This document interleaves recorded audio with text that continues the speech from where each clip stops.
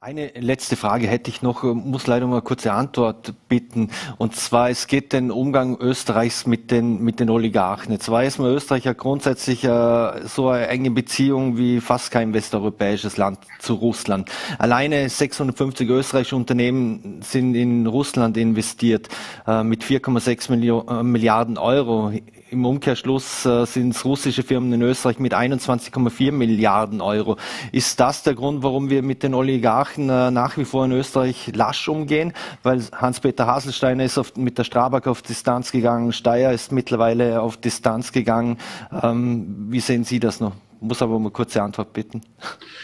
Naja, man muss ein bisschen differenzieren. Ich meine, äh, die, die äh, Sanktionen richten, was Personen betrifft, richten sich ja primär mal gegen Personen, die im, die im Umfeld von Putin äh, auch an der politischen Willens- und Entscheidungsfindung und Bildung mitgewirkt haben. Das kann man jetzt nicht automatisch jedem Oligarchen unterstellen, also jedem dieser, dieser, dieser äh, Unternehmenseigentümer.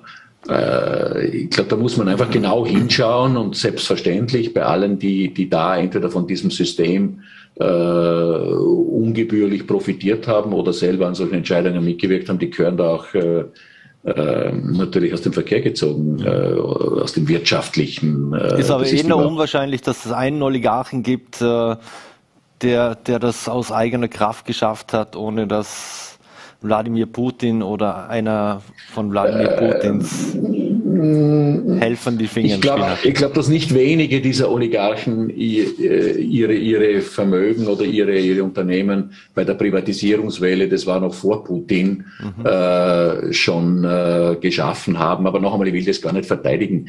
Äh, das ist ein System, das uns fremd ist. Das ist überhaupt keine Frage. Äh, aber man muss schon ein bisschen unterscheiden zwischen der unternehmerischen Tätigkeit dieser Leute. Viele führen ja diese Unternehmen, wie immer sie zu denen gekommen sind, nicht unerfolgreich. Äh, und, und äh, letzten Endes mit vielen Investitionen in Österreich profitiert sogar unsere Volkswirtschaft davon. Äh, das muss man schon ein bisschen trennen von, von den menschenrechtlich problematischen Machenschaften in Russland, ja auch schon vor dieser Kriegs kriegerischen Handlung war Russland nicht gerade ein Hort, der, der Menschenrechte hochgehalten hat. Auch das ist zu verurteilen.